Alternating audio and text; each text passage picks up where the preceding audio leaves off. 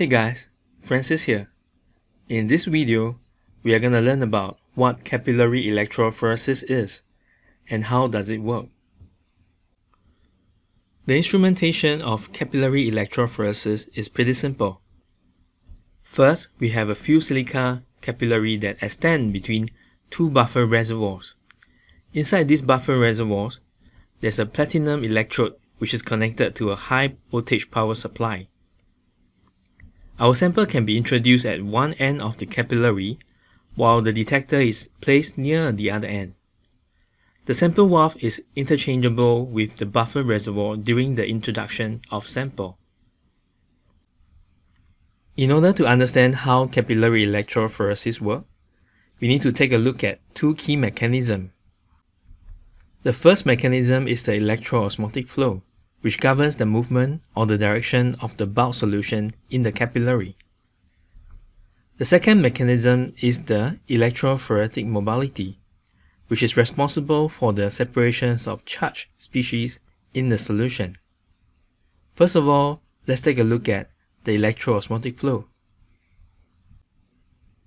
By definition, electroosmotic flow is the movement of the separation buffer through the silica capillary as a result of the existence of a zeta potential at the solvent silica interface. One of the keywords we see here is a solvent silica interface. So to understand what exactly is electroosmotic flow, we need to take a look at what is going on at the solvent silica interface. This diagram here shows the cross-section of a fused silica capillary. Typically, the capillary we use in CE has an inner diameter of around 10 to 100 micrometers, with length of about 40 to 100 cm. It is usually coated with a thin layer of polyimide to protect the capillary.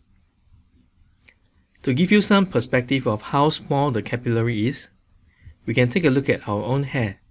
A typical human hair has a diameter of about 100 micrometer. The inner diameter of CE capillary is even thinner than our hair. Remember the chlorophyll experiment that we have done in CM1191? We use column chromatography to separate beta-carotene and chlorophylls from a plant extract. The silica gel that we use for column chromatography is polar because of the silanol groups exposed on the silica surface. Similarly, on the surface of the fused silica capillary we use in CE, there are silanol groups, and the chemistry of these silanol groups are pH dependent. When the pH is lower than 3, the silanol groups on the silica surface are fully protonated. When the pH is greater than 9, the silanol groups are almost completely deprotonated, making the silica surface negatively charged. In between pH 3 and pH 9, the silanol groups are partially deprotonated. In this experiment, the buffer solution we will be using has a pH of 7.7, which is pretty close to pH 9. Therefore, it is safe to assume that the silanol groups on the silica surface are dominantly deprotonated. Because of the deprotonation of the silanol groups on the silica surface, the capillary surface is basically negatively charged.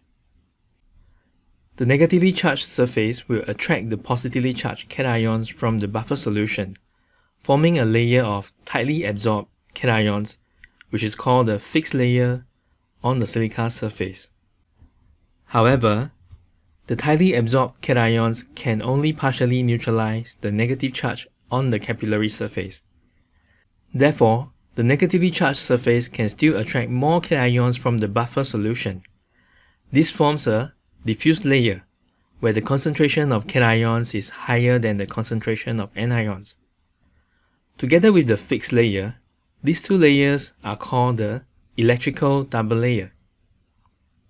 At the center of the capillary tube is the bulk solution where the concentration of the cations and anions are about the same.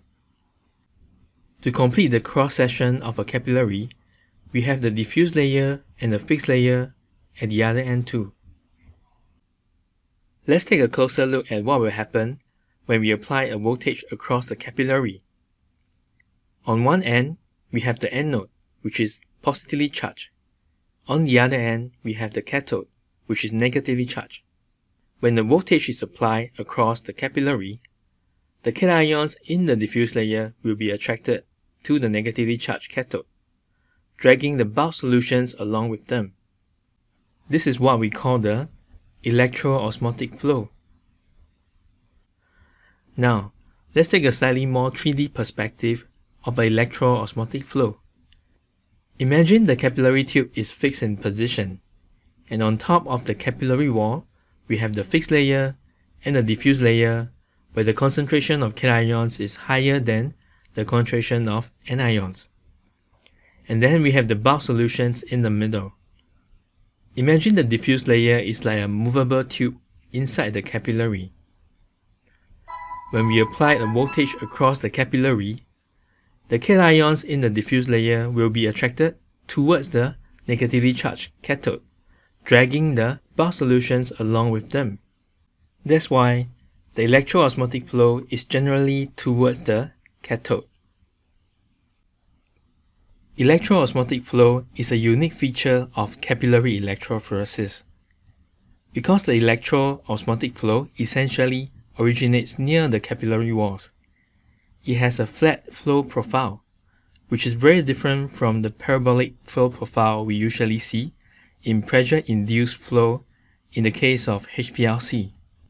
Therefore, as compared to the pressure-induced flow, electroosmotic flow minimizes band broadening, which in turn improves the peak resolution and the separation efficiency. The unique flat profile of electroosmotic flow is the main reason for the higher separation resolution and efficiency in CE as compared to that of HPLC. In summary, we have learned about the electroosmotic flow in this video.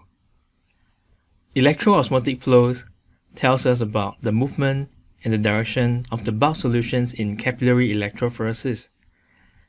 And also because of the unique flat flow profile, it usually results in better separation efficiency and resolution. But it doesn't tell us about the separation of analytes. So the next question we need to ask is, how do we separate anions, cations, and neutral species in capillary electrophoresis.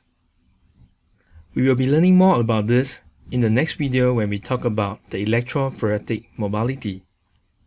So see you guys in the next video. Bye!